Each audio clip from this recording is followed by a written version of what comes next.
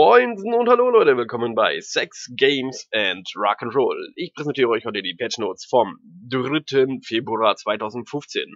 Es gibt eine neue Map im Community Warfare, die im Stil von Canyon Network ist. Ich habe sie noch nicht live gesehen, allerdings sehen die Screenshots ganz nice aus. Da bin ich mal sehr gespannt, ich freue mich drauf, diese Map wohl zu zoggen. Dann kann man sich in-game nun seine Titel über dem Mac anzeigen lassen. Dafür geht ihr auf Home, schon wieder eigentlich zu schnell gewesen und wählt dann hier Titles aka Badges aus und könnt dann hier auswählen, was ihr genau wollt, was ihr angezeigt haben wollt, wenn ihr es denn freigespielt habt. Ne? Und ähm, ja, ziemlich simpel, ihr klickt es an, bestätigt, dass ihr es haben wollt und gut ist. Dann bei Faction, bei Community Warfare gibt es nun bessere Übersicht darüber, wo es sich lohnen würde beizutreten. Wenn man so ganz normal auf einen Planeten draufklickt, hat man hier ganz normal die Planet Info. Daneben gibt es nur die Quai Info nochmal genauer. Da sieht man nun, wie viele Gruppen gerade in der Warteschlange sind, bei den Angreifern sowie auch bei den Verteidigern. Und man sieht auch, wie voll diese Gruppen jeweils sind. Ähm, in, rechts in dem Fenster die ja, kleine Tabelle, kann man sagen, wo ein kleiner gelber Balken ist, da ist ein Spieler in der Quai. Das war es dann allerdings auch. Mal hier ein bisschen rumklicken, ob wir was finden mit mehr. Hier sehen wir, da sind noch ein paar wenige mehr, ist aber auch nicht so viel. Schade, ist gerade alles schon äh, ziemlich voll und ausgelegen. Ah, hier sind es jetzt drei in der ersten Gruppe. Das heißt, es sind drei Spieler da, der Rest ist noch frei, also seht ihr nochmal besser, wo es sich für euch lohnen würde, mit eurer Gruppe von, was weiß ich, drei Leuten, fünf Leuten oder zehn Leuten noch dazu zu stoßen. Und gut ist. Dann gibt es einen Counter-Attack-Mode.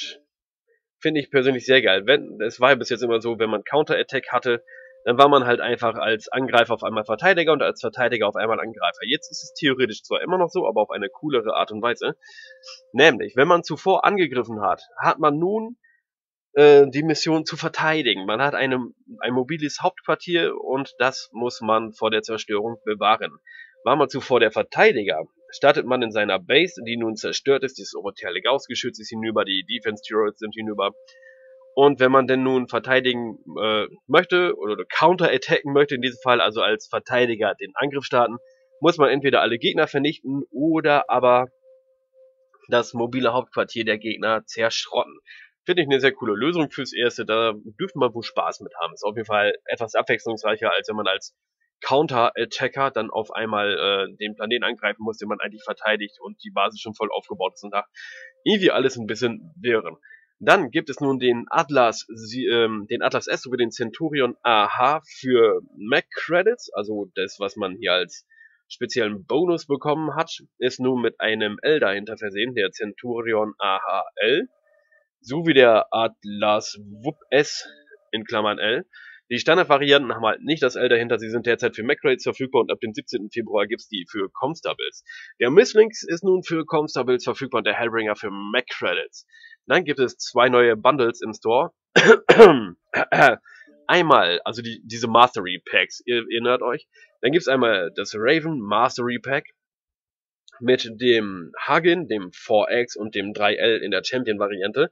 Also schon mal ziemlich cool. Und dann das Übliche dazu, es kommt alles mit einer MacBay und mit 30 Tagen Premium-Zeit und gegebenenfalls mit einer Statue, wenn es das denn gibt, und das eigentlich immer zu einem adäquaten Preis. Es gibt auch das Shadowhawk Mastery Pack, Dabei dann mit dem ähm, Grey Death unter und dem 2H in der Champion-Variante sowie dem 2D2. Das übliche 3 MacBase 30 Tage Premium-Zeit. Und fertig ist die Laube. Und in Anbetracht der Tatsache, dass das für so ein Mastery Pack halt einfach ein ziemlich guter Preis ist, in Verhältnis gesehen auf jeden Fall zu allem, wenn man sich dazu einzeln kaufen würde, ist es nun mal einfach saumäßig gut. Wer das haben will, wer sowas überlegt, sich da was zu holen, der kann man eigentlich gedroht zuschlagen, kann man fast nichts mit verkehrt machen. Und dann gibt es noch eine Anpassung bei der Größe von den ballistischen Waffen, nämlich die AC-10 sowie die AC-20 wurden in ihrer Größe ein bisschen angepasst. Sehen jetzt nicht mehr ganz so mini aus. Ähm, den AL habe ich, glaube ich, mit einer AC-10. Nope. den 9A dann. Hier steckt eine AC-10 drin, die nun mal auch schon direkt größer aussieht, vor allem auch größer als damals, äh, als zuvor die AC-20. Und im Yenlo habe ich die AC-20, die dann auf jeden Fall noch ein bisschen größer ist als die AC-10. Nicht übermäßig groß, nicht so wie dieser fette Lauf, aus dem der Arm eigentlich zuvor nur bestand, aber schon ausreichend groß, dass man denken kann, jo, das Ding hat Bums, mit dem will ich mich nicht unbedingt anlegen. Finde ich persönlich sehr gut gelöst, das Design gefällt mir auf jeden Fall.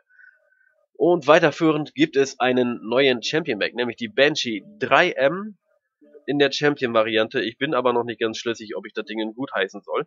EC-Effizienz liegt hier bei 1,07 und Geschwindigkeit von 64,8, allerdings mit insgesamt 6 Large Pulse Lasern. Und XL Engine, ich weiß nicht, ob man das eingehen sollte. Das wiegt so ein bisschen zu krass.